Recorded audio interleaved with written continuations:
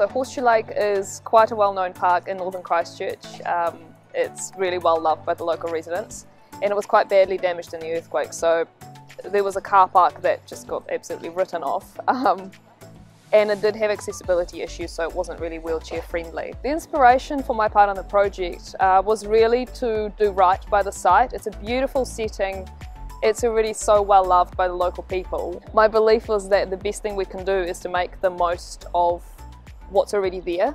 So we needed to maximise the usability, the accessibility um, and the assets that were already there and we needed to really integrate into the existing character of the site. So it was a light touch, maximise the efficiency and leave it be as much as possible. So the project had quite a few challenges. It's quite a complex site. Um, we had a few planning overlays that proved to be a little bit tricky. So it was an inanga spawning area as identified by ECAN.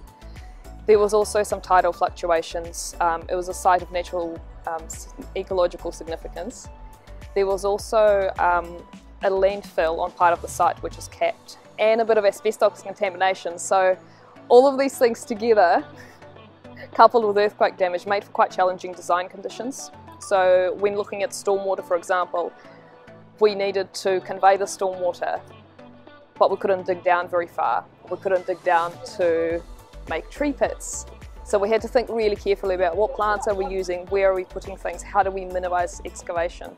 So we had to really collaborate with our civil engineers to get that really good outcome. What's working really well out there is the people are just loving it. Um, the accessibility is fantastic. So we've gone from having a park that you couldn't really access on a wheelchair with quite a steep drive down into the car park.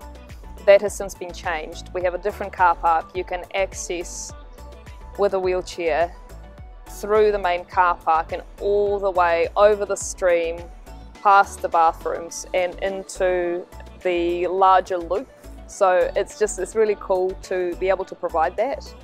And another thing I really love about it is that we have accessible picnic tables and um, I think the layout just works really well. Um, it's simple, it's really functional and it's really beautiful.